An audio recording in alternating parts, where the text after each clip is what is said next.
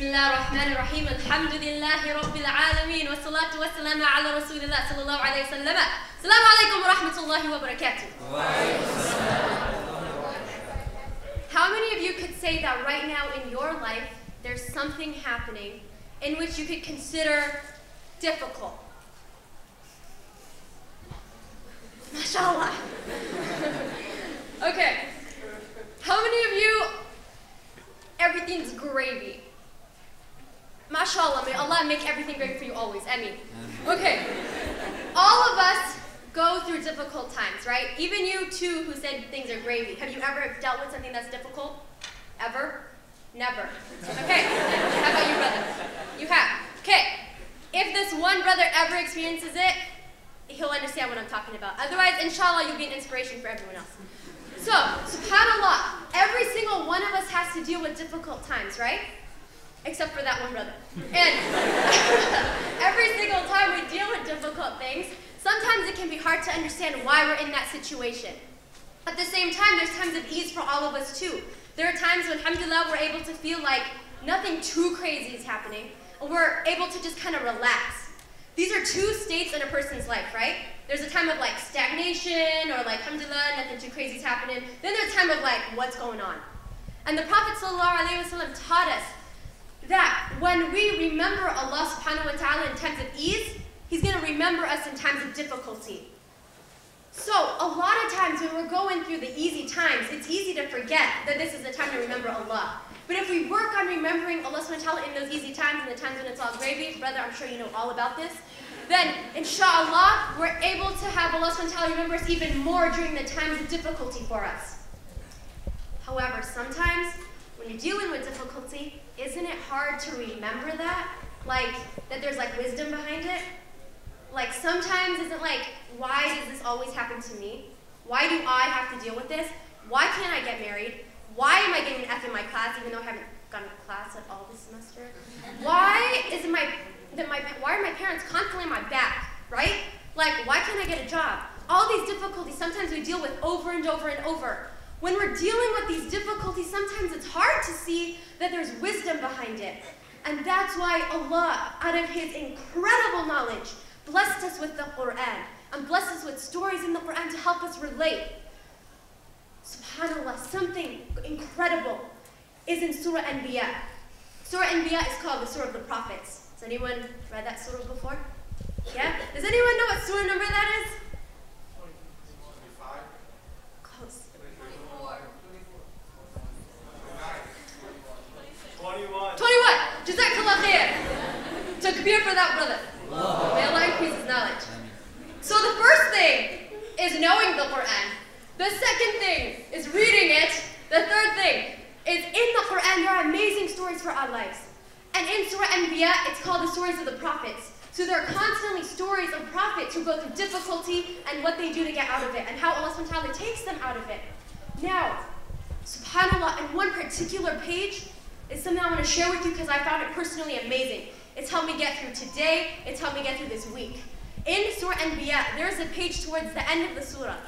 And Allah subhanahu wa ta'ala goes from prophet to prophet to prophet and tells us about different prophets who went through difficulty, who asked Allah for help, and Allah answered them immediately. And in the very end of that page, Allah gives us a formula that we can use when we're going through difficulty to inshallah find success. The first prophet Allah subhanahu wa ta'ala starts with is Prophet Ayyub. May Allah be pleased with him. In English, that's Prophet Job. Who knows what he's gone through? Who's heard of some of the trials he's had? Yeah, you want to share some of them? Ah, yes! Um, leprosy, all his children were um, died in an accident. His wife outlived him. Um, he was exiled from his hometown. Um, Lots of diff. Oh, sorry. I did not mean to cut you off. He became, Jazakallah khair, he lost his money. Layla, did you want to add to that? he just basically lost everything he had. SubhanAllah, he lost everything. Thank you so much for sharing that. Jazakallah khair. Um, SubhanAllah, she touched on so many different things. He didn't just like get a lot of money and then become poor, or have super health and then get sick, or have a lot of kids and then lose them. He went through all of those things. Alayhi salam. And after years of dealing with this, not the kind of sick that's like, oh, don't hug me, I have a, I have a cough. Not that kind of sick. The kind of sick that's like, like a disfigured kind of nobody wanted to be around him. Imagine if you have everything going on to the break of dawn and suddenly everything's gone. What are you going to do in that situation? Are you going to say, why did you do this to me, oh Allah? Well, billah. Or are you going to do what Ayub said? He said to Allah subhanahu wa ta'ala, he said, Anni masani something has touched me and afflicted me. Wa anta arhamur rahimin, and you are the most merciful of the merciful. He says to Allah, something, something's just hit me and it's, it's difficult. And you're the most merciful of the merciful. The next ayah, Allah subhanahu wa ta'ala, He says, فَاسْتَجَبْنَا فَاسْتَجَبْنَا لَهُمْ So we, we, we, uh, excuse me, help me. Thank you, we answered him. So in that moment, Allah subhanahu wa ta'ala answered him. And what happened after He answered him? He gave him his family, as in he gave him more children. He cured him, he gave him more children, he had money back. So he made dua and it was answered. And then at the end of this ayah, it's amazing. It says, وَذِكْرَى لِلْعَابِدِينَ It's a reminder for those who worship Allah subhanahu wa ta'ala. It's a reminder because all of us are going to go through similar things. Some of us here, maybe, how many moms are in the room or dads? Oh, mashallah. May Allah bless all of you and bless your children. Ameen. And bless all of you in the future with your children. Ameen. Okay, so these these parents, that was really a dot. Okay. these children, excuse me, these parents, when they have children, they know what it's like, right? If you were to feel like, oh, your child, you know, is sick, it's so difficult. Imagine losing children, Allah. So when you're going through something, when you're going through a test, when you when you can't get this job, when you can't get married, when you can't deal with your parents, when you can't move to this school, when you can't, can't, can't, can't, can't, it's a dhikra, you remember Ayyub. He went through so many things, he made dua, I can go through them too, and Allah's to be with me. When you keep going in this page, talks about more prophets, and then it gets to Prophet Yunus alayhi salam. In English, it's Jonah. Maybe it's Jonas. Okay, you look that up and let me know, so inshallah, we can talk about the correct name. The point of the story, I'm really sorry, I really don't remember. Does anyone really know? Jonah. Jonah? Jazakallah khair. Jonah, alayhi salam. Okay, what happened to Jonah? Who knows what his story is? Yes? No, you, right there. Yeah. Okay, uh, he was, um, he got eaten by a shark or by a large fish. Yes, Jazakallah khair. Thank you so much. So what happened to him is he's a prophet, right? He goes to his people. He tells them to come to back to Allah subhanahu wa ta'ala to worship Allah. He comes, tells them to worship Allah. They refuse. He gets upset. He leaves angrily. So he gets on this boat. What happens when he gets on this boat? Through a series of events, his name is cast so that he's, he gets off the boat. When he gets off the boat, he's in the ocean and a huge whale swallows him. Okay, I mean, failing a class doesn't seem like as bad as being swallowed by a whale. So we can kind of see that there's difficulty and relate to that, right? What happens to Yunus salam? When he's in this whale, what does he say? He's sitting in there, and I know so many of you have heard this dua. Does anyone know what the dua is? Okay, I hear lots of du'as. So, this particular dua, it starts with Subhanak, La ilaha illa, Louder, do it again. Okay. Third time, all together, one, two, three. Okay.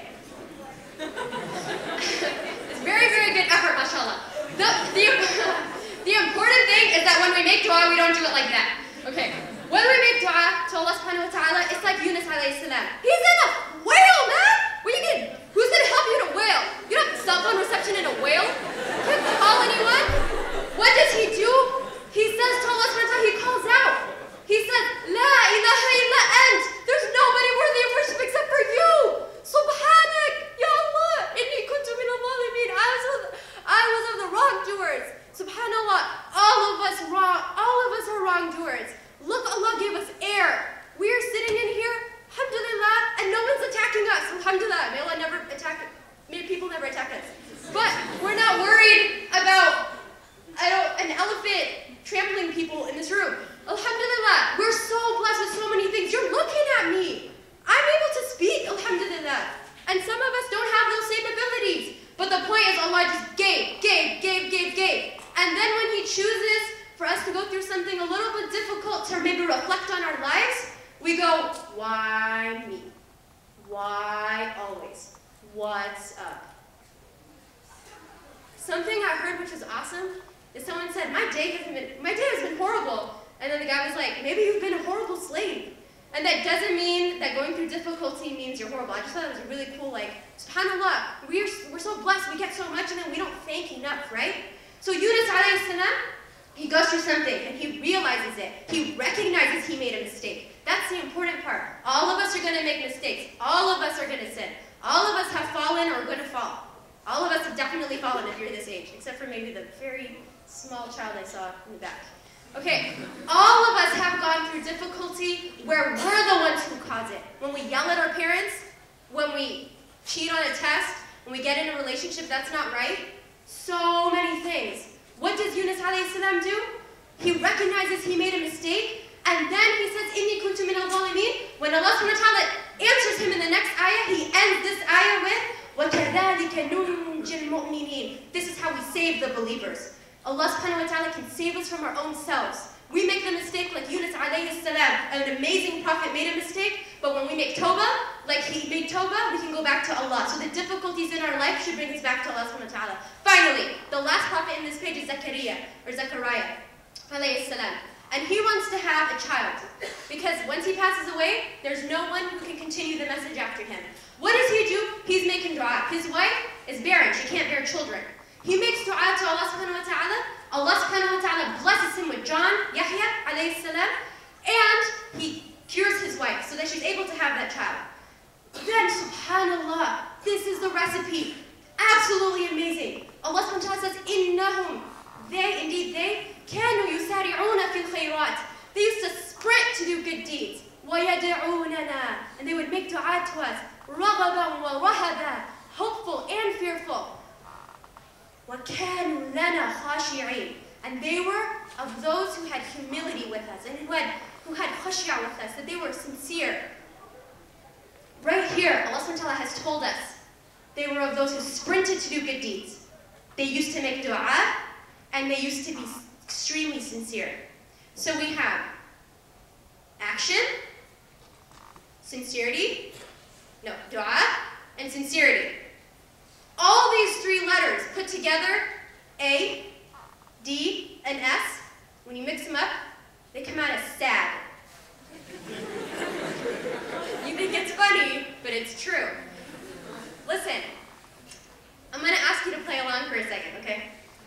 When I give you the cue, I want you to say sad, because I want you to remember this. When I'm going through hardship, I'm to do sad. What? Sad. What? When I'm going through hardship, I'm going to do sad. Sincerity, action, and dua. Allah subhanahu wa ta'ala has blessed us with this super amazing recipe for success. Number one, sincerity. When we're going through something difficult, ask Allah subhanahu wa ta'ala sincerely. Not like, like, for example, to show you. Okay. Assalamu alaikum. Assalamu alaikum. Okay. Don't even laugh. You know you've done that before. Okay. Yeah, that's why it's so funny. Okay, Allah subhanahu wa ta'ala is waiting to listen to us, but we gotta be sincere about it. And we gotta be sincere about fixing the situation. If you're failing a class, and you're like, oh, but I made dua, I just haven't studied ever, that's a problem. That's why you gotta be sincere about wanting to change. I gotta be sincere about wanting to change. Number two is action. So once we're sincere about wanting to change, the second part is actually doing the action to change. So sometimes it's a situation that's out of our control. For example, may Allah protect everyone's loved ones here and everyone's loved ones, of the loved ones who are here, everyone. If there's a person who's going through a terminal illness, there's not necessarily much you personally can do to cure them. You can make dua for them, you can visit them, you can make them happy. There's action that you can do. And you can do good deeds so that your dua would be even more accepted, inshallah. So for example, instead of like smoking hookah Friday night with the friends, you could go to the movies, inshallah, and watch a really halal movie, okay?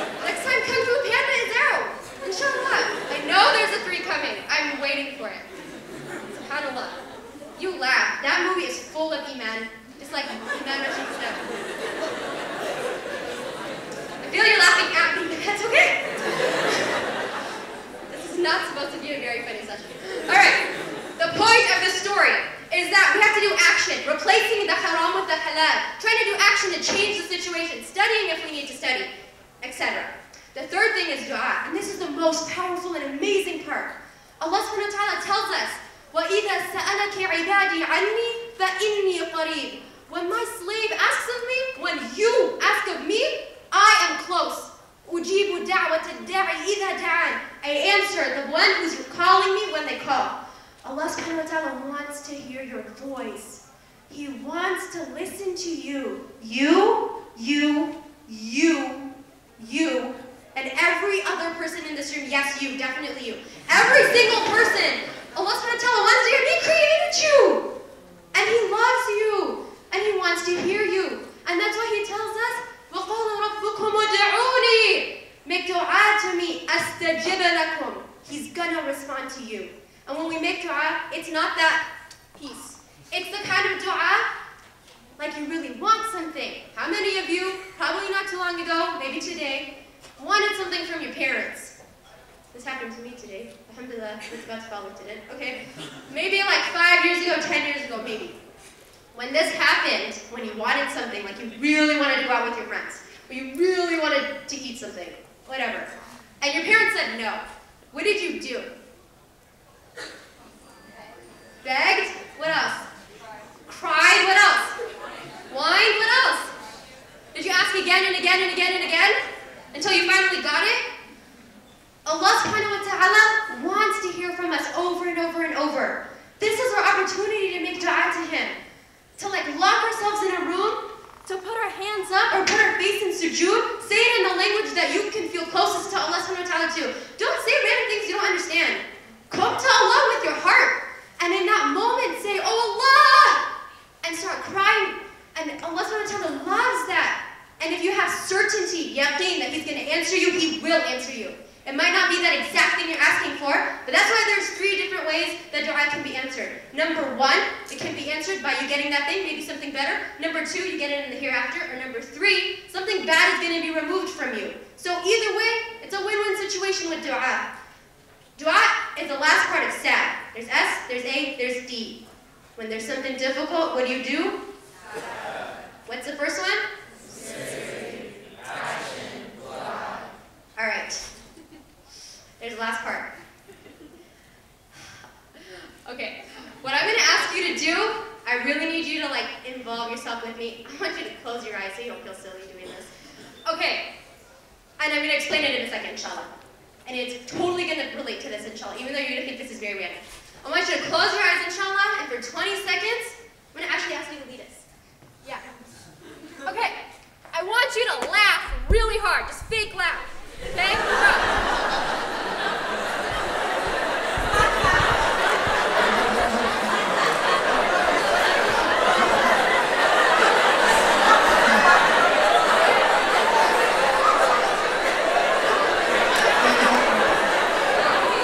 We're on three, we're on two, we're on one, we're on zero. Okay, do you feel a little bit better even though that was really silly? Do you feel like more energized, a little bit happier? Those of you who chose to participate, I totally noticed some people didn't choose to participate, but that's okay. Okay, the point is that when you laugh, you start feeling a little bit better. And studies have shown that people who are depressed or people who are sick, when they laugh, even if it's fake laughing like we just did, it actually helps them. It helps to relieve depress- depression. It helps with your So walking around and smiling, you know how it's sunnah? The Prophet ﷺ, everything he did is good for us, including smiling. It helps your immunity. Now, subhanAllah, when we're going through something hard, it's very difficult sometimes to remember to smile and to laugh. I'm not saying that something bad happens and you start laughing. What I'm saying is that when you do sad, sincerity, action, and dua, once you do those three things, you have to put your tawakkul, you have to trust in Allah subhanahu wa ta'ala. How can you trust in Allah subhanahu wa ta'ala? You can continue to do those things, but know that Allah will answer you if you're working and you're sincere and you're making dua. So once you put your trust in Allah, you're not going to worry anymore. You're not going to freak out. Because you know Allah's gonna take care of it. You're working, you're making dua, you're being sincere, you are working. This isn't like Allah's gonna take care of it, I'm gonna peace out. This is working and having tawakkul. When you have this tawakkul, this should naturally make you happier. And when you're feeling happier, inshallah, it will be easier to deal with the difficulty. So the last part, for the laughter, begins with a what? This is L for laughter, not for loser, okay? L for laughter, put it at the end of sad. What do you get? Saddle. So, when you're dealing with a difficulty, what do you do? You put on the saddle and you ride your way to Allah subhanahu wa ta'ala.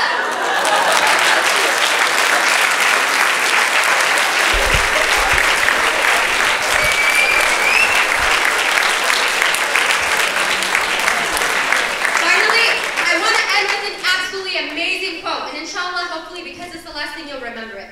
Ibn al-Qayyim, rahimahullah, said, when Allah tests you, it is never to destroy you. Whenever He removes something from your possession, it is only to empty your hands for an even better gift. Coming back to Allah is always going to be the best thing for our akhirah. So inshallah, let's there. Jazakallah khair.